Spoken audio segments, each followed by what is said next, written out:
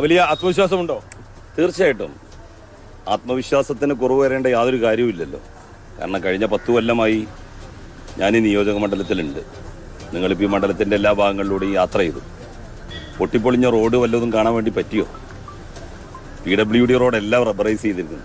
തുടക്കത്തിൽ വലിയ ആത്മവിശ്വാസം പ്രകടിപ്പിച്ചിരുന്നു. അത് വർദ്ധിച്ചോ കൂടിയോ? ഇനി മണിക്കൂറുകളേ ഉള്ളൂ തെരഞ്ഞെടുപ്പിലേക്ക് പോകാൻ. അത് വർദ്ധിക്കുകയാണ് ചെയ്തിട്ടുള്ളത്. അത്രയൊക്കെ വിജയിച്ചു. എന്താ സംശയം? കഴിഞ്ഞ മൂന്ന് തെരഞ്ഞെടുപ്പിൽ രണ്ടായിരത്തി ആറിൽ തന്ത്രം വിജയിച്ചിട്ടുണ്ടെങ്കിൽ ഏ?